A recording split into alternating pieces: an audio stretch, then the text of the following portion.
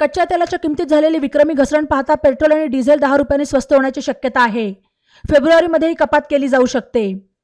एका वर्षात कच्च्या तेलाच्या किमती बारा टक्के कमी झाल्या आहेत परंतु तेल विपणन कंपन्यांनी या काळात किमती कमी केल्या नाहीत.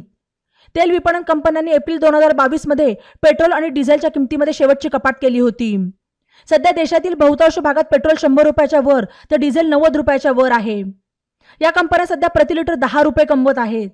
दोन हजार तेवीस चोवीस या आर्थिक वर्षात आतापर्यंत Indian oil Bharat petroleum corporation आणि हिंदुस्थान पेट्रोलियम कॉर्पोरेशनच्या नफ्यात सुमारे पाच पटींनी वाढ झाली आहे. ई नवा वाटा यूट्यूब चॅनलला सबस्क्राईब करा आणि बेल आयकॉनवर प्रेस करा.